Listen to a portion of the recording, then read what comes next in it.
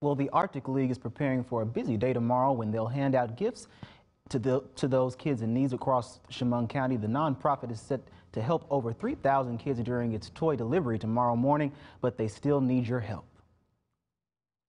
Christmas is about giving. It really has al- always been about giving. And once you get past a certain age, I think you realize that.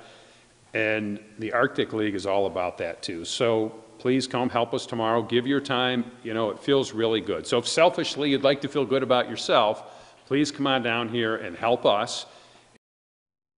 The doors open at 9 a.m. to the public, and if you want to help, we have more details on how to get involved over on our website, mytwintiers.com.